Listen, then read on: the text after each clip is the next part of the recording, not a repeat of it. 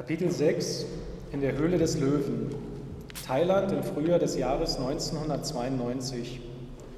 Die Sonne strahlte über ganz Bangkok. Die Wassercontainer auf den Dächern der Häuser erwärmten sich und die Menschen in den Straßen der Stadt suchten den Schatten. In den Büros lärmten entweder klapprige Ventilatoren oder Klimaanlagen soten monoton vor sich hin.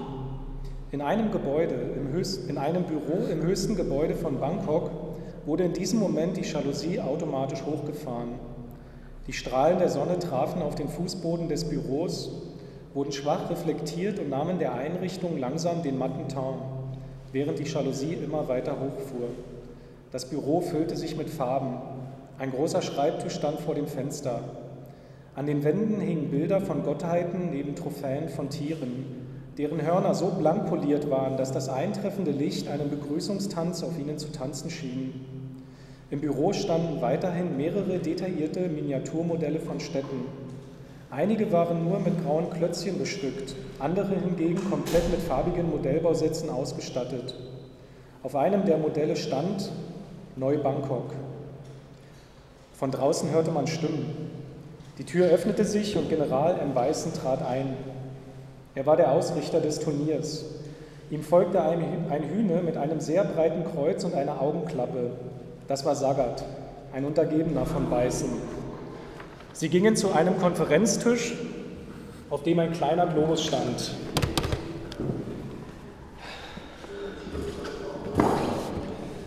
Erst nahm Beißen Platz,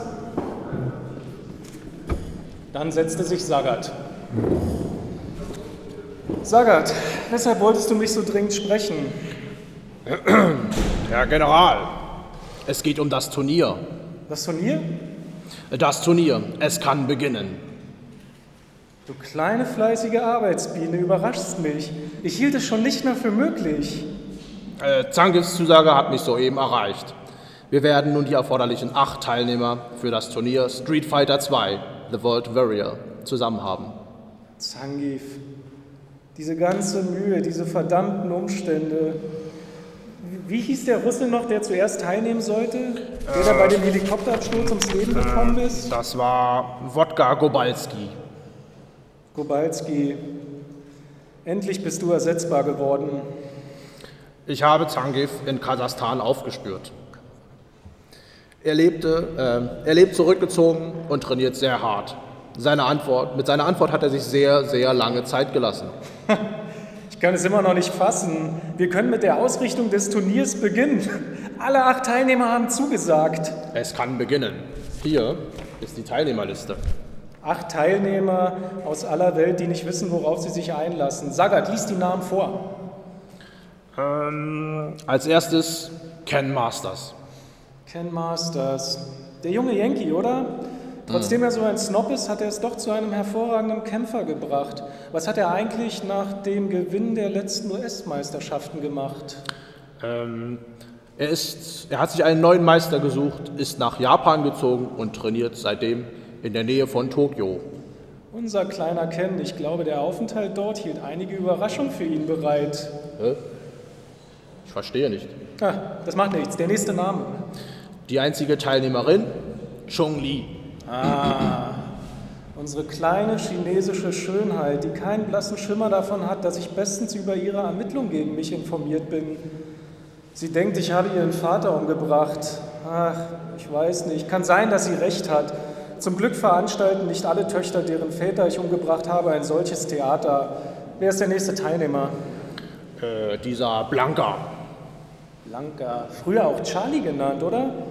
Mein erster Versuch, einen neuen Soldaten zu schaffen. Aus dem tapferen Ledernacken Charlie wurde das grüne Dschungelmonster Blanca. Schon erstaunlich, was eine Gehirnwäsche und etwas Genserum so auslösen können. Und nun raten Sie mal, wer der Nächste auf der Liste ist. Stichwort, wir lassen niemanden zurück. Kann nicht wahr sein. Geil? Mhm. Immer noch auf der Suche nach seinem Kameraden Charlie? Äh, Blanca? Der fünfte Teilnehmer, Edmondo Honda. Honda, na, sagt mir gar nichts. Äh, so ein ungeschlagener Sumo-Ringer aus Japan. Er arbeitet nebenbei als Koch. Koch? Dann soll er doch diesem abgemagerten Inder etwas Schönes auf den Teller zaubern. Der ist doch auch dabei, oder? Richtig, Gandhi, äh, Dalsim. Ebenfalls ein Teilnehmer in unserem Turnier. Der einzige Kämpfer, der es geschafft hat, nicht nur seinen Geist zu erweitern.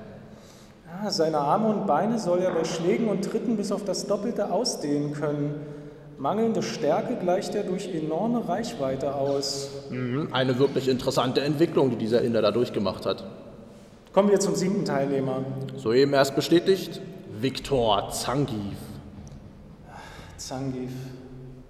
Das Schicksal hat dir deine Chance genommen. Ich gebe sie dir zurück.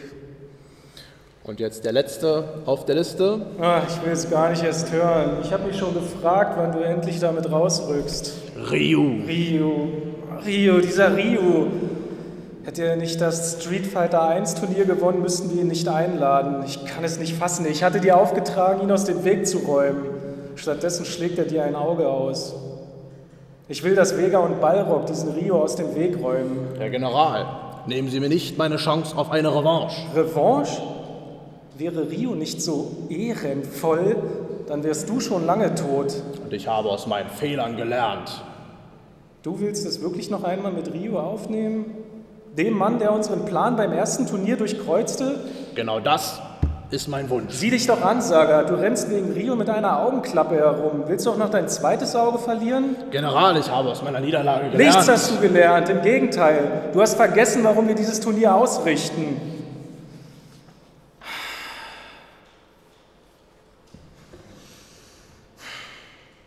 Unsere hohlen Versprechungen von Ruhm und Ehre, die wir den Teilnehmern machen, scheinen dich ebenfalls zu verblenden. Du fällst auf unsere eigene Propaganda rein. Sagat, wir wollen hier nicht wirklich ein ehrenvolles Turnier abhalten. Wir ködern die besten Kämpfer der Welt, um aus ihrer aller Stärken nicht nur eine neue Form der Kampfkunst zu schaffen, sondern einen neuen Menschen, einen künstlich geschaffenen Supersoldaten, mit dem wir die Weltherrschaft an uns reißen wollen. Letztes Kapitel. Zurück in der Realität. Berlin Anfang 92. Der Globus drehte sich noch eine ganze Weile weiter. Bevor er ganz zum Stehen gekommen war, wurde den beiden Gamern klar, dass sie noch immer vor ihrem kleinen, flackernden Fernseher inmitten von Berlin saßen. Mittlerweile war es Abend geworden und der Counter zeigte den unglaublichen Wert von 1000 Kämpfen an. Beide waren total erschöpft. Doch ob sie wollten oder nicht, der Sieger dieses ersten Berliner Street Fighter Turniers musste in einem alles entscheidenden Kampf gefunden werden. Es gab keinen anderen Weg. Der Kampf begann ruhig. Zunächst wollte niemand die Initiative ergreifen, doch schnell begann das Geschehen an Dynamik zu gewinnen. Und so kam es, wie es kommen musste. Es waren nur noch wenige Sekunden zu kämpfen in diesem Kampf und beide hatten nur noch sehr wenig Energie übrig. Ken hatte es, Ken hatte es jedoch geschafft, ein wenig Platz zwischen sich und Zangief zu bringen und hatte daher den Vorteil auf seiner Seite.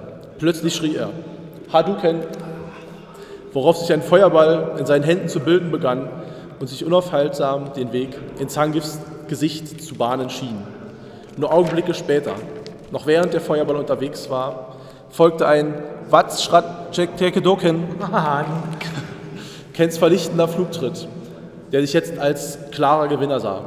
Doch statt sich in Sicherheit zu bringen, sah Ken seine Chance gekommen. Er wich dem, äh, sah Zangief seine Chance gekommen. Er wich dem Feuerball gekonnt aus, griff Ken in der Luft, klemmte sich dessen Kopf zwischen die Schenkel und sprang mit ihm in die Luft.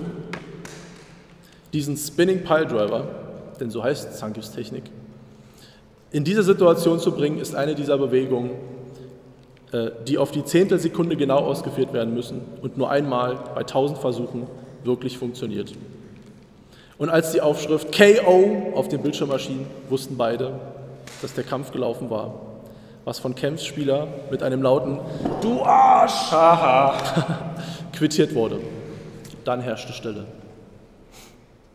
Nach Minuten des Schweigens begann sich bei den langsam wieder in der Realität zurechtzufinden. Genau wussten sie nicht, was eben passiert war. Nur eines war ihnen klar.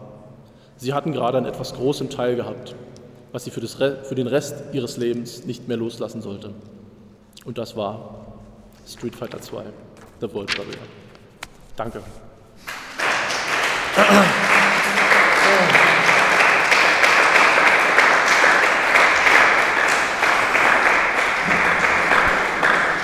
Ja, vielen Dank.